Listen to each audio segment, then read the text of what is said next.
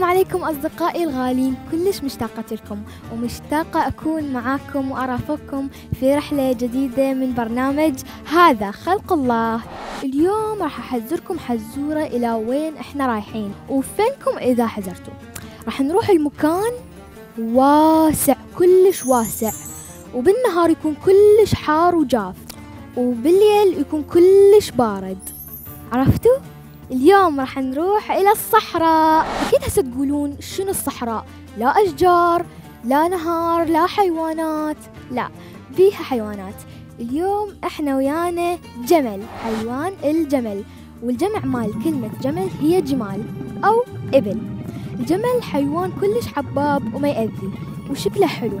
أنا برأيي شكله كلش حلو. وأنا متأكدة هسه تقولون شنو الجمل حلو؟ جسمه كبير وشفايفه كبار وعنده حدبة. بس هسه أشوفكم شلون خلقه حلو وعظيم. أصلا الجمل يعتبر من معجزات الله سبحانه وتعالى.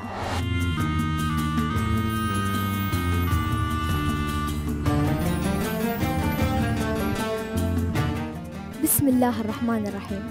أفلا ينظرون إلى الإبل كيف خلقت؟ صدق الله العلي العظيم. يعني شنو؟ يعني لازم نفهم. ونعرف حياة الجمل.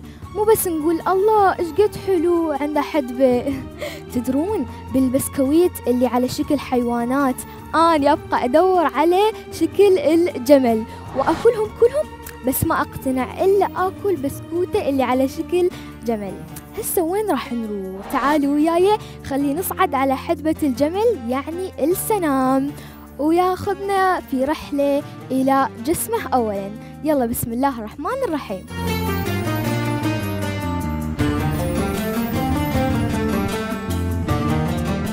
الجمل عنده قدرة على أنه يتحمل ظروف الصحراء القاسية جدا.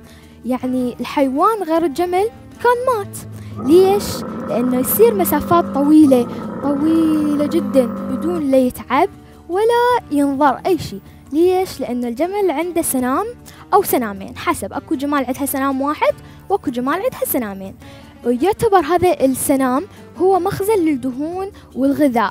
تدرون كم كيلو دهون يقدر يخزن؟ ستة وثلاثين كيلو.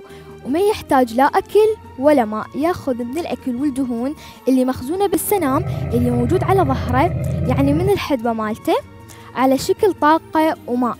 وما يشعر بالجوع مثلنا من نجوع فترة طويلة نتعب ونحس بالإرهاق.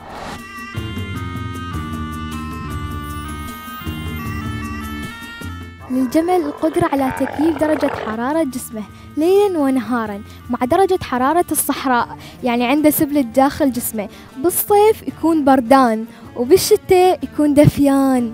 لذلك إحنا نشوفه ما يتعرق إلا القليل لذلك يكون قادر على أنه يخزن الماء في جسمه حتى مهما ارتفعت درجات الحرارة.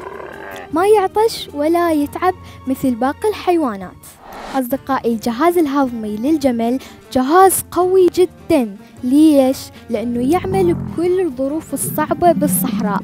يعني عنده أمعاء تهضم النباتات اللي تكون جافة وبيها أشواك. والشفات مالته تكون خشنة وعنده فم كبير جدا يخليه يقدر يأكل نباتات الصحراء الشوكية. تخيلوا نباتات صحراء شوكية هو يقدر يهضمها ويأكلها. قد قوي هذا الجهاز الهضمي هسه تقولون زين جلدة للجمل. ما يحترق من حرارة الرمال؟ خوش سؤال. للجمل غطاء سميك يعمل على انعكاس أشعة الشمس للحرارة. ويعمل أيضا على حمايته من الحرارة المنبعثة من رمال الصحراء الحارة. وأيضا رجليه الطويلة تساعده على إبعاد جسده عن الرمال الحارة.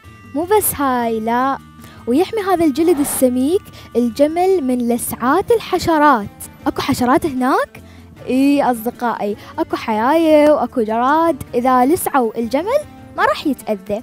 وهسه أصدقائي الحلوين فاصل ونرجع وياكم على مود نشوف شلون يتحرك الجمل في الصحراء.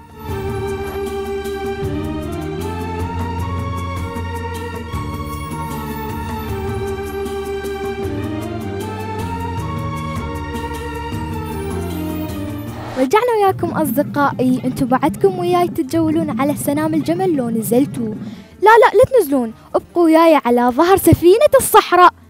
اوه أنا كشفت لكم المفاجأة اللي كنا ضمتها لكم. يلا ما يخالف ترى الجمل يسموه سفينة الصحراء. زين هاي السفينة ما تغوص بالرمال؟ ها.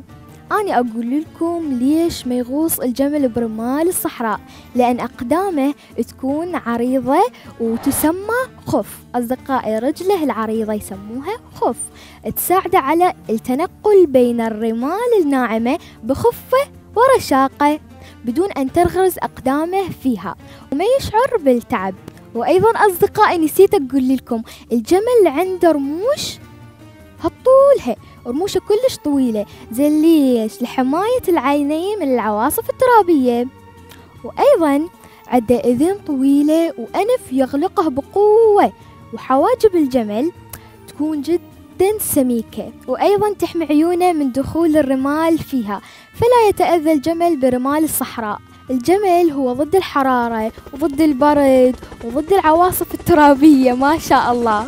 أما أصدقائي حليب أنثى الجمل أنثى الجمل تسمى الناقة مفيد جدا للكبار وللأطفال. ليش؟ لأنه يحتوي على نسبة فيتامينات كبيرة تقوي مناعة الإنسان وما تخليه يتمرض. سبحان الله. فالناس اللي تعيش بالصحراء ما تقدر تحصل على الخضار والفواكه لأنهم عايشين بالصحراء ما يقدرون يزرعون. فالله سبحانه وتعالى استبدل لهم بحليب النوق. وهو جمع ناقة. بعد تريدون أصدقائي أخذت لكم فرة معدلة في سفينة الصحراء. الجمل وشربت حليب؟ هسه نودعكم على أمل أن نلتقيكم في رحلة جديدة ومفيدة من هذا خلق الله.